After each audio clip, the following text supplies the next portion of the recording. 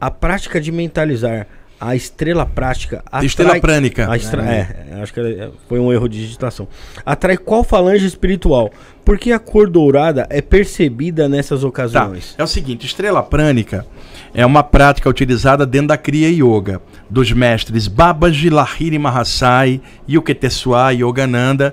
Entretanto, a estrela prânica foi uma técnica passada pelo Krishna para o Arjuna, 2000 e pouco antes de Cristo. Essa técnica se perdeu, o Rafael, ao longo do tempo e foi resgatada séculos depois pelo mestre Babaji dentro da linha da Kriya Yoga. Mas a técnica, ela é considerada do Krishna para o Arjuna. Então a visualização de uma estrela prânica. Por quê? Felipe, quando você pensa em estrela, você lembra de céu ou de terra? Céu. Céu. Então, qual é o valor de um iniciado? Ou de mar. valor celeste. Quer dizer, o valor que vem do alto. Então, por metáfora, alguém realizado na parte espiritual seria igual a uma estrela. E uma estrela de cinco pontas é uma cabeça, dois braços e dois pés. Quer dizer, um iniciado em pé. Rafael, você puxa um círculo em volta, é a aura da pessoa. Essa aura é dourada. Por que dourada? Alquimia, você pega o vil metal, passa pelo cadinho da prova e transforma em ouro. Alquimia, que é interna.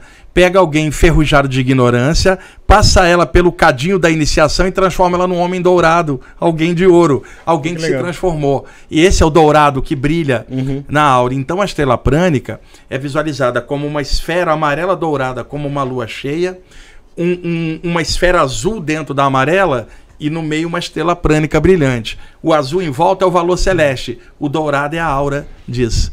Quer dizer, é, é muito legal a estrela É, prânica. Bonito, né? Tem, tem várias, eu tenho várias práticas que eu aprendi fora do corpo. Eu nu- nunca fui iniciado em nada.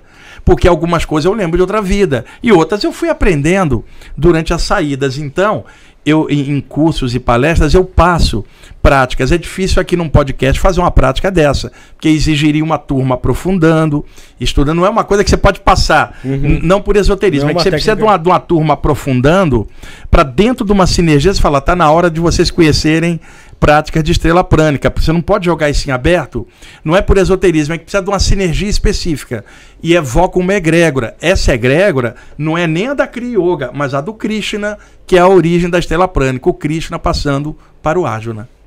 É muito bonita a história da.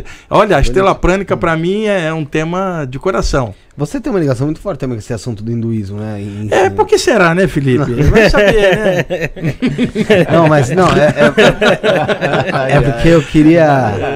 Um dia eu queria fazer um alguma programa, um programa sobre. Podemos fazer um programa sobre hinduísmo. Eu, Eu, não fiz, sei porcaria. eu, eu fiz lá no Projeto Farol alguns programas sobre hinduísmo, mas foi como aulas. Mas a gente pode fazer pergunta e resposta sobre hinduísmo. Aí eu conto Krishna, Shiva e, e- e tantos outros. Eu conto para vocês aí um pouquinho. Pode ser um próximo programa. Pode ser da hora.